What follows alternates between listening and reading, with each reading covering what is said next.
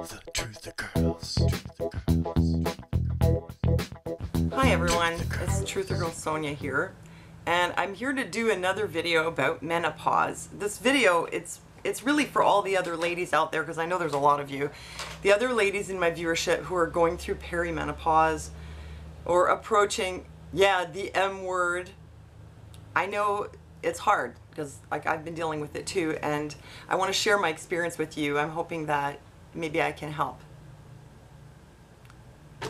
And you know what? I need help too. So if you have anything that you can tell me, I welcome your advice. So I want to give you an update. And this is also for uh, anyone who's living with a woman who's going through this. It's been like this big taboo. You're not supposed to talk about menopause, but you know what? We need to talk about it because it's it's heavy. It's it's not a little thing. It's a big deal. It's really really hard. It has been for me anyway. So Here's the thing, I am officially two years post menopause. I know you probably look at me and say, you look like you're too young. Um, that's what my doctor thought. That's why it took a long time for him to even realize I really was going through menopause. Um, I'm not like officially too young. I mean, I'm on the young end of it. Yeah, like at the edge of the young end of when it can happen, but it can happen in your early to mid 40s. It can happen. It happened to me. So two years post, and I was thinking, well, you know, once you get to menopause, it's got to get better. You know what? In some ways, it has gotten better. I mean, there were times where I was just completely exhausted, like all day long. Um, very, very depressed, like feeling very strange emotional pain all day, and just feeling really, really horrible and I had those other symptoms like dizziness and you know whatever like all of them. Uh, I guess it's better than it was but you know what? It's still not over. It's two years since my menopause officially and I'm still having problems. I'm still having hot flashes and somewhat some struggling with fatigue but not so much fatigue as much as before but just sort of general demotivation like loss of interest in things it's like whatever. Like i said in my last video you know and i was pretty emotional and, and i mean some of that is how i feel about issues but some of that is just my own state. Uh, and i don't know maybe a lot of you ladies are going through that too and it's things that you would have been really gung-ho about before or really interested and you're just like I don't care anymore. Now I know why old ladies sit in a chair and knit all day because they're like, whatever just get back to my knitting and pass the time. Oh, I don't want to be like that, you know. So um, I have not been doing uh, pharmaceutical HRT. I've been prescribed it three times and three times I read the side effects and just was like, nah, I can't do this. And I asked them for bioidentical and they were like, oh, it's all the same. I got male doctors every time. Even though I asked for a female doctor, I was looking for someone who had real expertise. And I just got the run of the mill male gynecologist who's just like, yeah, just, you know, put this patch on. Oh, uh, bioidentical, ah, it doesn't matter, you know, whatever. And, and it was really like the same prescription each time. It's just like a generic prescription that they give everybody. I mean, maybe I'm asking for too much, but I feel like I'd like to have it a little bit more tailored to my needs. I mean, we're not all the same look at the blood tests and then maybe tailor it. I mean, there are people who get menopause doctors who do that, but I couldn't find one. So anyway, this is it. Three times the prescription, three times I'm like, no, I can't do it. So I have been doing herbal HRT and it does work. And the reason I know this is that every time I try to stop it, all my stuff comes back. This, is the one that I've been using. I've showed you before. It's called Feminex by Adrien Gagnon. Feminex, in case you can't see the label. I'll tell you what's in it. Okay, kudzu and red clover. Oh, there's no soy. And sage and black cohosh. I found this is helpful. Definitely helpful with the hot flashes and I think it's helpful a bit with the, the energy levels and the mood.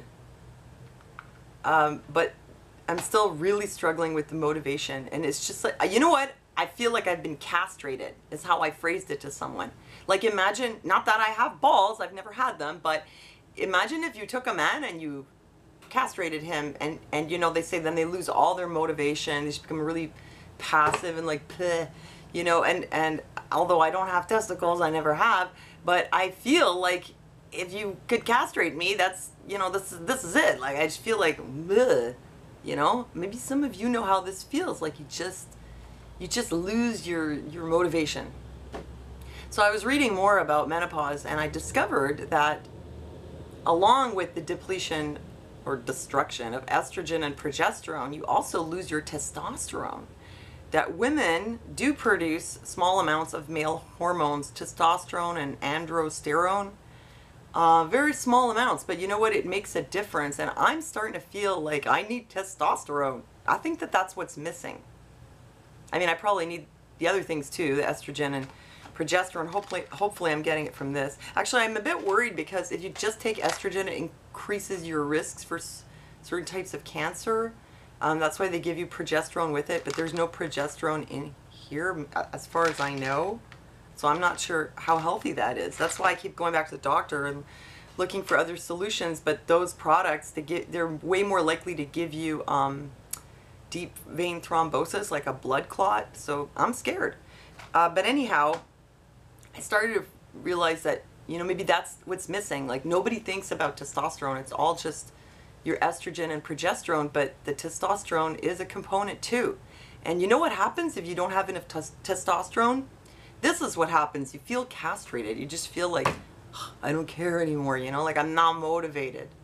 You lose your vim and vigor, you lose your interest, you lose your confidence, and you just, yeah, you feel like the way I feel. I, I think that has something to do with it.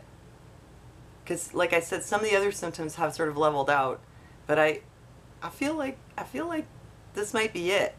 And so I was looking into herbal solutions. Now people talk about maca. I see this? I have maca. I have used it. I did a video about how it increases your libido, which could be a good thing in your marriage, you know.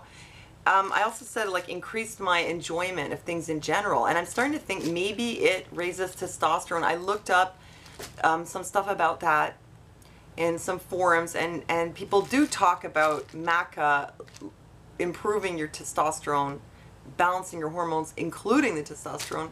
But, you know, it's not studied scientifically and they can't prove exactly. Like, they haven't measured people's levels. And again, we only need our level to go up a tiny bit to make that difference. But I, I didn't see any scientific literature showing that that's what it does. I'm starting to think maybe it has something to do with it, though. So I'm back on the Maca as of like yesterday you guys saw me in my video. I was in bad shape, you know. I mean, yes, I'm upset about things, but I felt like I was feeling really angry and negative and just so discouraged about everything. And some of it, again, it's, you know, it's the stuff that's going on, and some of it is me. So this, I'm, I'm going to start taking it again because I'm sort of on and off with it. And the other thing was there's some other spices. There's cayenne and paprika that raise your testosterone a little bit. Um, so those are obviously easy to add to the food. Of course, I don't want to have too much testosterone. You're going to know because I'm going to be talking like this. Hey, it's Sonia, and I'm here to give you a little update on the DIY HRT. And uh, safe to say, I think I went a little too heavy on the testosterone, if you know what I mean. Yeah, if you hear me getting like that, you'll know where I start growing a beard or something, you know. But here's another one. It's called Damiana. And this is a little stronger than uh, paprika and pepper, uh, cayenne pepper. And I got the Damiana here and it says to take three capsules three times a day. That sounds like a lot, but that's because it's meant to be used for UTI problems, which I don't have and I'm not using it for that. I mean, I guess I'm using it like off label. Um, so I, I try, but I feel like I'm fishing in the dark. Like I don't know what the dose is, but that's how it is with herbs. But I'll let you know how it turns out. I'm going to take, I'll start with one capsule. I actually wanted a tea. Uh, I hate swallowing pills. But anyway, this is from Nature's Way Damiana leaves. All right, so we'll see how that goes. There's another one which doctors prescribe. See, if you got a good menopause doctor who does like a comprehensive profile and does an accurate prescription, they're going to give you estrogen replacement, progesterone replacement, a little bit of testosterone replacement, and DHEA which is, oh, I don't know if I'm going to get it right. Dihydro, whoops. oh no, it's something, something androsterone. Anyway, whatever. It's DHEA and androsterone. Andro is male. It's like a male hormone.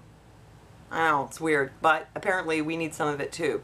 Otherwise, we get castrated and then you end up like me and you're like, ugh, sit in the chair and do the knitting. Uh, DHEA is something that doctors will give you with your menopause kit. So I was like, well, that's great. I'll go out. And I'll just get myself a little DHEA. and just pop a cap every day, see how that works out. And you know what? Turns out it's illegal in Canada. So I'm out of luck there.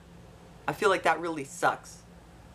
Because maybe that would really help me and a lot of other people, but for some reason, it's illegal. It's not illegal in America, but it's illegal in Canada, so I can't get it. But if you're in the US, you might want to look into DHEA. So what else have I been doing to deal with this? I've been going to the gym a lot. Now, you guys know I was going to the gym. I've been going for like two and a half years. I had a lot of improvements in my physical fitness. I lost some weight. I was super happy about it. And then I started homeschooling my son about six months ago, and I could not find the time to go to the gym. I mean, there's only so much you can do in one day. Anyway, I couldn't find the time to go to the gym. And in the six months, I gained five or six pounds. Very depressing. But I'm not going to let it get me down. Uh, and since Gunner's been at camp, I'm going back to the gym. And uh, that is supposed to help with everything too. And it's supposed to also raise your testosterone. So the government may forbid me from getting DHEA, but they can't prevent me from going to the gym. So this is one of my strategies. But I'll tell you, a lot of the time I just feel these waves of like a sadness that it's it's like to the point where it's like physically uncomfortable. It's like almost make me feel nauseous. Like this this I can't even explain it. It's like this horrible, weird, sad poison, like I'm poisoned with sadness kind of feeling that I can't even trace what it's from. I can't think of a reason. Like my life is okay. I mean, it's not perfect, but whatever. I, I you know, it's it's not that different than it was a few years ago, and and I was coping fine, and now all of a sudden it's like I'm not even thinking about anything sad. It just keeps coming and coming and uh, all I can do is try to distract myself and not think about it. And and going to the gym has been I guess a way for me to cope. But I'll tell you it's not easy. I mean I'm doing menopause au naturel and it's been really really hard but I feel like I, I can't take the pharmaceuticals and I'm also hoping that one day I'll be able to taper off these hormones. And if I take pharmaceuticals then I'm gonna have to go through like hormone withdrawal all over again. Maybe I'm doing the wrong thing. I don't know, but this is what I'm doing. It, it's what feels right to me for now. So there's my update. And uh, oh, one last thing. I wanted to give a shout out. You know, I, I had a, a bunch of shout outs that I wanted to do actually. I had a list here, but thanks to menopause, I'm a little disorganized. Blame it on the menopause. Um, Okay, now here is one shout out I've wanted to do for a long time. It's a shout out to Throatzilla.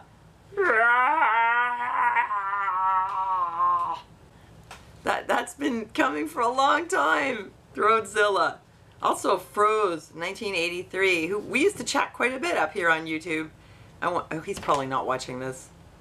He's probably not watching. Why would he watch a menopause video? Well, in case you're there. Hi, Froze. Uh, Carla Akins. I should really be doing that shout out in an autism video. Cause Carla wrote a wonderful book called A Pair of Miracles. Sent me the book, so I want to give her another shout out. Um, Karen Burns. Karen, my friend, the walking party. Actually, a friend of mine who I met through YouTube, and now we're friends for real. We I went down to New Jersey to visit her. You can see some of my travel videos down in New Jersey. That's Karen Burns. Hi, Karen. Love ya. Oh, I wanted to say hi to James Hoke, who says he loves getting uh, noti notifications from me. Again, maybe James isn't watching the meno video, but I, I, you know what? I'll do more shoutouts in another video because probably it's just the women watching this video. I mean, I could do women shoutouts, but uh, mostly these are guys that I had on the list here. Anyway, that's it. Uh, it maybe it's the testosterone. I feel castrated. And let's see what we can do about this. And, you know, to all of you who are going through this, God bless you. And uh, I hope it gets better and, you know, hang in there. People keep telling me it gets better, it gets better. Yeah, when? When does it get better? Two years post. Still suffering.